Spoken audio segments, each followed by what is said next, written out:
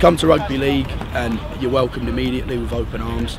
Um, there's not one single person I can think of in this society. If we're going for drinks, if, we, if we're going for some food, everyone's invited, everyone's welcome, and we actively ask people who maybe you know we haven't seen much of or seem a bit quiet to come and join us. Uh, and, and just get integrated into the group because that's what we are. It, rugby league. It sounds cliche, but we are we are a family. So that's how it works.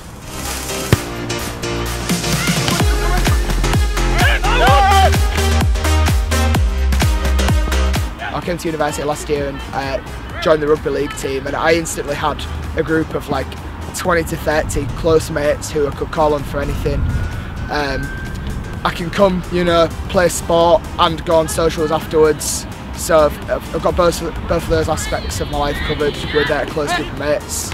I played rugby league all my life since I was a youngster, and I felt like it'd be good to be able to continue at university, as well as we're in an area which uh, like in Lincolnshire it's not that big for rugby league. I really wanted to be able to promote it and help to um, really grow the sport at university because I feel like it's a great sport and you know um, the lads here, you know anyone coming to Lincoln should have an opportunity to be able to play it.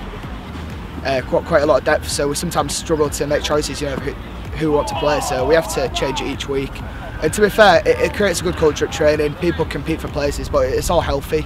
You know, it's it's all um, in good spirits and it's nice because we can really compete and we can really challenge our players to try and be the best they can be.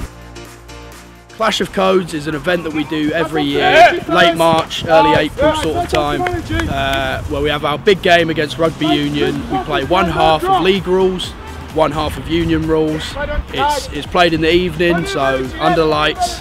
Uh, it's, a, it's, a, it's a big night for everyone.